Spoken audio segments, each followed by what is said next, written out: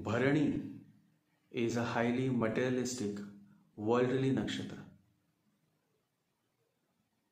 It is a Sansari nakshatra. But Sansar means not world. Let this be very clear. Sansar means the repeating wheel, the same repeating pattern. So even if you leave your wife and you go to Himalayas, still it is the same repeating wheel. You are not out of it.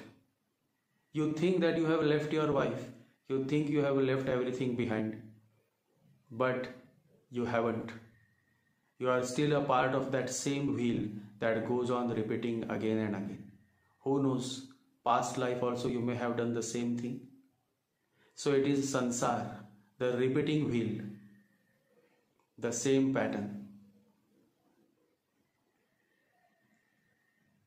And nobody is able to get out of this sansar. You will be able to get out of this sansar only when you start bringing more and more awareness to your being. Then the old patterns can be changed.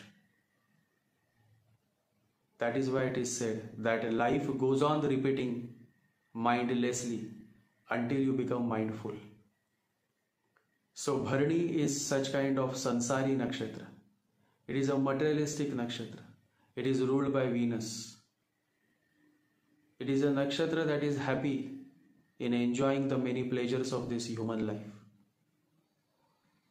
In this podcast, I will share more on Bharani Nakshatra, what happens when a moon falls in Bharani Nakshatra.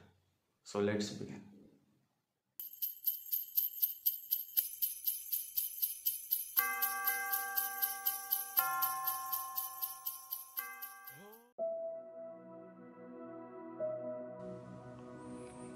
Bharani is a beautiful nakshatra.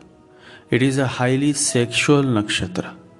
The person is much inclined towards experiencing the many pleasures of this human world. A Bharani person is very straightforward in love matters. If he loves you, he will not run around the bush. He will just say those three magical words I love you and will expect a quick response from you. Being a Bharani, the person is highly passionate in lovemaking and also has great intensity when it comes to completing a certain project or work. The person born with moon in Bharani may go through multiple relationships. Happiness from marriage is rarely seen with this placement two marriages or multiple marriages may happen, especially if the person has an afflicted Venus in the birth chart. When it comes to Bharani, life is like a poetry. There is a rhythm, there is a story, there is a twist, there is a romance, and there is a love in this poetry of Bharani native's life. These men and women are not logical fellows, and so they appear more alive, more beautiful, and more happier. To them, love means the magic without logic. It is always fun to befriend a Bharani Nakshatra born woman or man. I personally like Bharani. One of the most beautiful part of Bharani Nakshatra is that they are not backstabbers or backbiters. Whatever it is, they will say it on your face, and so rarely will you find a betrayal from a person born in Bharani Nakshatra. In a Bharani born woman's chart, if Venus is very powerful and well placed, and Mars is strong, then such a woman indeed is a beautiful woman who easily can make a man go weak on his knees. Such a woman has a great sex appeal, and it is very difficult to ignore such a woman, considering the kind of beauty and immense sex appeal she has. One great gift of Bharani Nakshatra is that a woman born on Bharani is generally found to be fertile and conceives much faster, and so chances of becoming pregnant is more with moon in Bharani. A woman born with moon or Venus in Bharani Nakshatra is always found to be 100% fertile and generally succeeds in becoming a mother. In fact, young girls and young women having Venus or moon in Bharani Nakshatra should be careful in their sexual relationships. They should take the necessary precautions because this placement can make you pregnant very easily. Similarly, young boys or young men having moon or Venus in Bharani nakshatra should take necessary precaution while engaging yourself in a sexual relation. As Bharani is a nakshatra of high fertility, and you may just end up making your girlfriend pregnant. Many men who cannot sexually satisfy their bed partner consult a sexologist in other words, these kind of men are addressed as impotent.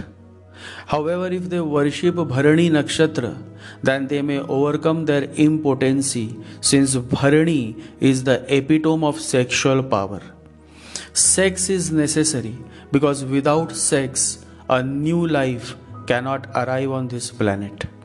After all, we all are born out of sex. And so to condemn the very source of our existence is being foolish, being stupid. It is a very strange world.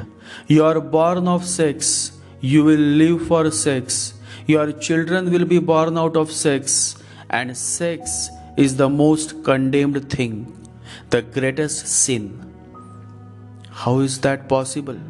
Sex has become more and more attractive because of its condemnation by the priests. The more you hide something, the more you censor something, the more you condemn something, it becomes more attractive. It is a pure science of psychology. Bharani Nakshatra is represented by a clay pot or womb that contains Shakti, the divine feminine creative power. And so, this nakshatra is the only nakshatra that has immense power of providing fertility. And so, usually, you will never see a childless woman or a barren woman with this placement. In fact, Venus in Bharani gives great potential for childbirth.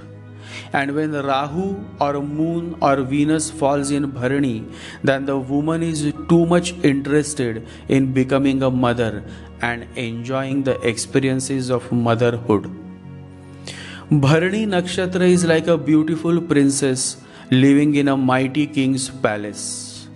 The princess is Venus, just the way Bharani is, and the king is a warrior, a Martian, just the way Aries sign is. It is also a great irony or the way of nature that all the three nakshatras of Venus, Bharani, Purva Falguni, and Purva Shadha, are found in their enemy signs. Because Aries, ruled by Mars, is enemy of Venus. Leo, ruled by Sun, is enemy of Venus and Sagittarius ruled by Jupiter is also enemy of Venus. And yet all the nakshatras of Venus dwell in these three signs Aries, Leo, and Sagittarius. Never challenge a man or a woman having a moon in Bharani Nakshatra, for they have the courage to fight back reminds me of a wonderful story. It happened once. A great warrior returned home and was shocked to see his daughter with her lover. The warrior could have killed his daughter's lover then and there itself, but he decided to follow the customs. According to the customs, it was not fair to kill someone without a fair trial, a fair chance. And so the warrior said to the young man, Tomorrow morning you will fight with me. Take this sword and come tomorrow morning. If you win, my daughter is yours. Else you are dead. The young lover did not even know how to hold a sword. He was a poor farmer. He had never been trained in swordmanship. He said, Sir, although you are following a convention and respecting even a poor man like me and giving me an opportunity, still this is for you just a game. I don't know anything about swordsmanship. At least give me two days so that I can go to the greatest master who lives in a nearby monastery. He's a Zen monk. At least I can go to him and learn something about this. So please give me two days to have some clue. The warrior agreed. He said, You can go, and if it is needed, you can take few more days. But get disciplined. I will wait for you. The young lover went to the great warrior, the Zen master. The Zen master said, Even years of training will not help you. Your lover's father is just second to me in the whole country. You cannot hope to compete with him. My suggestion is this is the right moment to fight. The young lover could not understand. He said, What kind of puzzle are you giving to me? This moment is the right moment? And he said, Yes, because you have one certain thing your death. Now, more than that, you cannot lose. Your opponent has many things to lose his daughter, his prestige, his respectability as a warrior. He is a great landlord. All his money, his mind cannot be total while he is fighting. But you can be total. You have to be total. Just a moment of unawareness and you are gone. You have to be totally alert. This is the right moment. Don't bother about any discipline. You simply take the sword and go. The young man came back within minutes. The great warrior said, Have you learned anything? He said, There is no need of learning anything. Come out of your house. And the way he shouted, Come out of your house, the great warrior could not believe what magical change has happened to his daughter's lover. As he came out, the young lover, according to convention, bowed down to the warrior. The warrior bowed down to the young lover. That is how it is in Japan, part of their culture. Even with the enemy, you have to respect his dignity, his humanity, his divinity. Then the young lover started hitting the warrior, knowing nothing about swordsmanship. The warrior was at a loss because where any expert would have hit, the young lover would not hit because he had no idea. He would hit somewhere where no expert would ever have hit. And he was fighting with such totality that the warrior started moving backwards. And as the warrior started moving backwards, the young lover gathered more courage. He was moving his sword without knowing why to what purpose or where he was hitting. And since it has been decided that his death is certain, now there is nothing to worry about. All worries belong to life. Soon he cornered the great warrior. Behind there was a wall surrounding the warrior's garden. He could not move backwards anymore. He was so afraid of death for the first time in his life. And he said, Wait, you can have my daughter. You can have my properties. I am renouncing the world. I am becoming a monk. He was trembling with fear. Even he could not understand what happened. From where did this courage come? From where this totality come? From where this awareness has come? But it can be only in such special situations that without any discipline, just the situation can create so much of awakening in you. Courage comes when you fight for your life, when you fight for your survival, when you fight for the love of your life. When love is true, you will fight even though you have never fought with a sword in your hand. What takes years and months to learn sword fight, love can teach you without any training. That's the power of true love. It is more powerful than electricity. Venus is all about love and Bharani is the most romantic nakshatra as it is ruled by Venus and is placed in the adventurous romantic Martian sign of Aries. We will now see the results of Bharani nakshatra in four padas. Pada 1 This placement that is moon in pada 1 of Bharani nakshatra gives birth to a highly creative person. The person is highly intelligent. Person with this placement generally does extremely well in studies. However, one significant point is that this person longs for love. Without love relationships, he cannot survive. To him, love is like oxygen. He constantly needs someone with whom he can enjoy the many pleasures of relationship. This is a very playful placement. Person is of playful nature. A good sportsman is also born with this placement. This is an excellent placement for making a career in administrative field such as being an IAS officer or a senior manager or a CEO or a COO. Many people with this placement attain higher positions in their career. This is one of the best placement for a Bharani Nakshatra native. When it comes to choosing a career, then the native can either go for management studies or become an artist.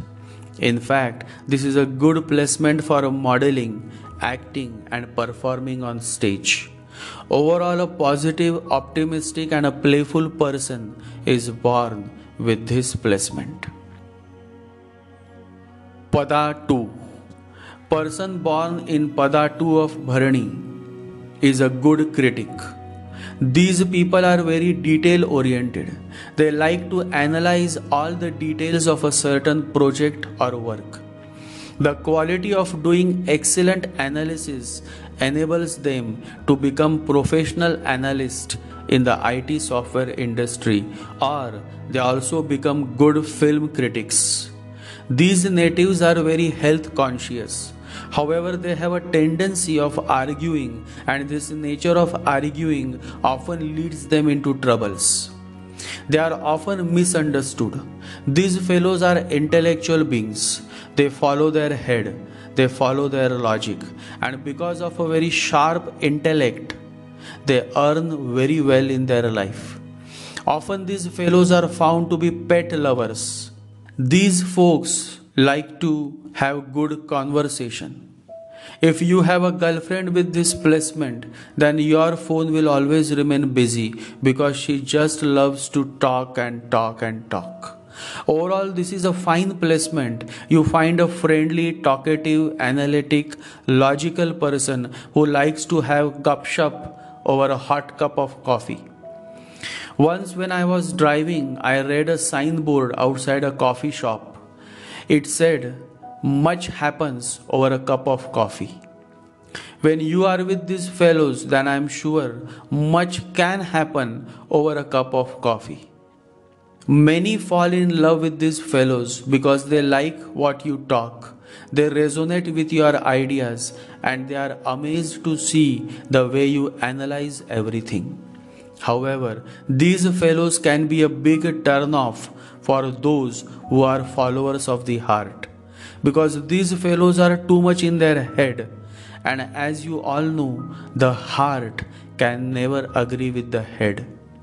Overall, good placement for materialistic people. It brings good money and the person is found to be service oriented. Career as a business analyst or any field where good analysis is required is good for these fellows. News media, digital media, print media is also good for this placement. Pada 3. This is one of the most sexual placement. Person is very much interested in experiencing the many dimensions of sexual life. Someone who takes keen interest in understanding the Kama Sutra. An excellent deal maker. This person can do well as a sales manager or a businessman. If Venus is well placed in the birth chart and Mars is strong, then the native enjoys marital life and receives abundance of sexual and emotional satisfaction from his marriage partner. Such a man is often found to have a good, appealing personality. He has all the skills and talent to attract a woman, as well as a woman with this placement is also highly appealing and can easily attract a man. So, making a girlfriend or a boyfriend is not difficult with this placement. Excellent placement for an artist. Natives with this placement can make a career in the field of art, such as acting, singing, dancing, designing. It all comes naturally to these natives. A good surgeon is also born with this placement as well as a good businessman is also born with this placement because doing business is also an art. Pada 4 Person may go through many tragic events. Unfortunate placement when it comes to matters of love person often faces many challenges in relationships. This is a placement that can lead to self transformation. It is a wonderful placement for spiritual progress. Suddenness is one trademark of this placement. As a result, the person goes through several shocks and surprises in life. This is again a highly sexual placement. Rarely will you find a person who remains a celibate with this placement. Sex seems to be a significant part of their life. Person does have a lot of sexual energy. At the base level of awareness, the person may remain stuck in enjoying the sexual pleasures of life while on the higher level of awareness, the person may slowly move beyond sex and transform the sexual energy into spiritual energy. This is possible in case of evolved souls who are initiated by their guru, their master. It all depends on the overall quality of the chart. This is a placement that gives extreme results. Either the native will be the last or the native will be the first. There is no middle ground for this placement. There is no place for mediocrity. This is a good placement for career in military intelligence, in FBI, CBI, CID, basically good for investigation, good for occult subjects, and good for artists. Sudden fame or sudden rise to power is possible with this placement.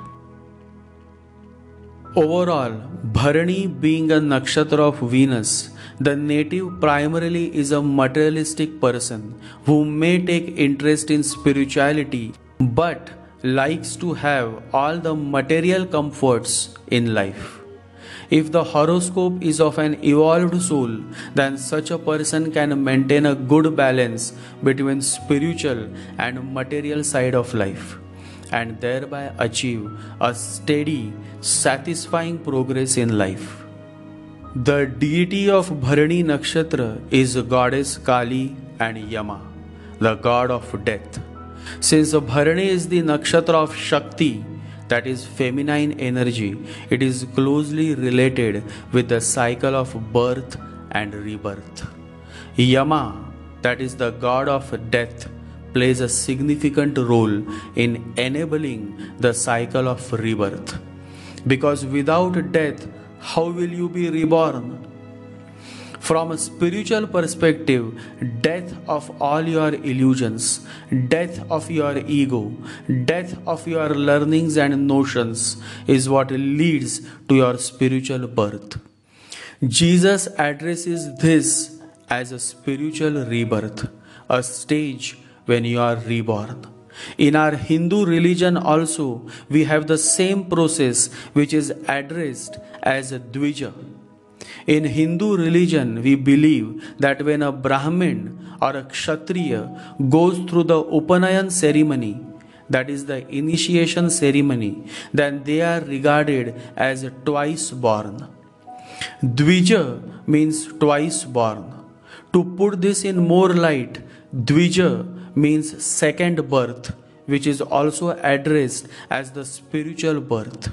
Nowadays, this Upanayan ceremony has lost the true purpose because during the old times, after the Upanayan ceremony, the boy was generally sent to the monastery where he was trained in all arts and sciences of those times.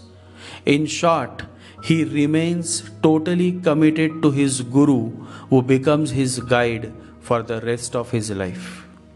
Remember, the first birth is through the mother and the father. The second, the true birth, is through the master. The Guru hits hard and deep within. He bores inside you to your utmost depth and will not rest until your ego is completely melted. That is why the second birth, the rebirth, the spiritual birth happens through the Guru, the Master. The sacred tree of Bharani Nakshatra is Amla or Indian gooseberry. It is said that in India, when a woman becomes pregnant, she often likes to eat amla or the Indian gooseberry fruit since it is sour, bitter in taste. So you see how the dots connect. Bharani signify fertility, pregnancy, and the tree that is sacred to Bharani also bears a fruit that is sought after by a pregnant woman. This is how the dots connect. Feminine energy always loves sour taste. Imli amla is sour by taste, but woman just loves to have it. It is very natural since the taste of Venus, which signify woman, is also sour. If you want to receive blessings from this beautiful nakshatra of Bharani, then offer fresh amla to goddess Lakshmi and you will never fall short of money. Because goddess Lakshmi always loves the fruit amla, the Indian gooseberry. I humbly prostrate before this most beautiful Venusian nakshatra of Bharani. I think every man is happy when he is blessed with a wife or a girlfriend having Venus or a moon or even Rahu in Bharani. A nakshatra of charm, prosperity, and fertility, Bharani will always bring much happiness and warmth in your life. These natives love children and they always make sure that they have a big fat family of many children playing, singing, dancing, and bringing the much liveliness in your home, in your life. Love to all men and women born with moon or Venus or Rahu in Bharani Nakshatra continue to make this world more beautiful, more colorful, and more joyous. For we need the warmth and the love and the caring that Bharani brings to our beautiful planet, Mother Earth. Jai Sri Ganesha, Jai Guru.